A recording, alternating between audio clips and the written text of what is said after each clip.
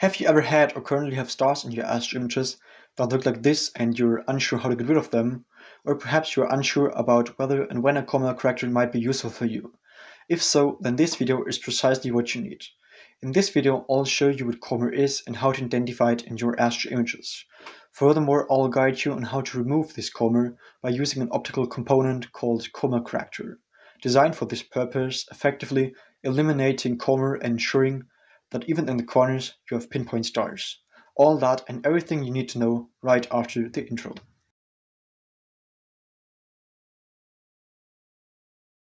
Perhaps you're wondering right now how to identify coma in your astro images. To give you a closer look, I've brought an image that I've captured without using a Coma corrector. For example, this image was taken with a Canon EOS 2000D and a Skywatcher 150 750 PDS Newtonian telescope.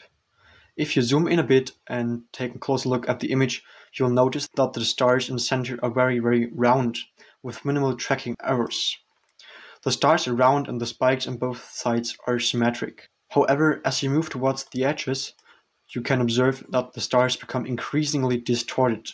This is known as coma, which is most pronounced in the corners. The farther you move from the center of the image, the more distorted the stars become. Coma is not only evident in the corners, but also in the upper and lower regions, as you can see here and down below here. Therefore, the farther you move from the center, the more noticeable the coma becomes. To confirm whether it's indeed coma, it's best to inspect the center of the image. Zoom in a bit and inspect the stars in the center of the frame. If the stars in the center are round, as in this example, but distorted in the corners, it's very likely due to coma. However, if you zoom in on the center and already have distorted stars in the image, it's likely due to tracking errors. If you have distorted stars in the center, you probably have them throughout the entire image. This occurs when the mount hasn't tracked correctly. In this case, you have two options to eliminate these distorted stars next time. Firstly, you can reduce the exposure time, and secondly, you can use auto-guiding. Auto-guiding provides two options, off-axis guiding or a guide scope attached to the telescope. Auto-guiding sends commands to the mounts to compensate for potential tracking errors. If you only have distorted stars in the corners but pinpoint stars in the center, it's very likely due to coma. After showing you how to identify coma in your image, I would now like to explain how to remove it. There are two possible approaches for this. The first method involves cropping the image, meaning you simply zoom in and cut away parts from the picture. As observed in the image, coma is mostly pronounced at the edges, especially in the corners, Assuming that this area corresponds to the camera's field of view, we can crop the image by removing the outer parts. As you could see in my example image, the most affected areas are primarily in the corners and outer regions of the image. If we reduce the size of the image and only use the central areas, the coma in our newly cropped image is not as pronounced. However, there's a drawback to this method. When photographing smaller objects, such as planetary nebulae or smaller galaxies, they often do not appear in the entire field of view, as they are small and do not extend to the corners. Therefore, we can simply crop the outer parts of our image and use only the central parts where the object is located.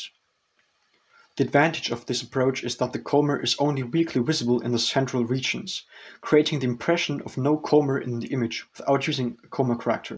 However, if you have objects that appear in the entire field of view, like the Andromeda Galaxy for example, it becomes challenging. In this case, the object extends to the corners, and if we crop our image, we lose important details that we intended to capture. Therefore, this method is not suitable for beginners, but only when photographing objects that are only in center and do not extend to the corners. If you plan to use the entire field of view, which is what most people want, the only option left is to use a coma corrector. This is precisely why I switched to using a coma corrector. This coma corrector corrects the image, ensuring pinpoint stars even in the corners. This coma corrector is then attached to your camera using an adapter. It's important to use the correct spacing. Most correctors have a working distance of 55 millimeters. At the beginning I had some problems because I didn't have the exact right distance, resulting in coma, however a significant improvement. You could definitely have taken photos like that, but I wanted to completely remove the coma. To improve coma correction, I purchased a 1mm spacer ring to achieve the exact 55mm. Since then, I have had no issues with coma. If there is still interest how to attach a coma corrector to your telescope in detail, feel free to leave a comment below this video. If you have any questions in general, feel free to write them in the comments and I will be happy to help you.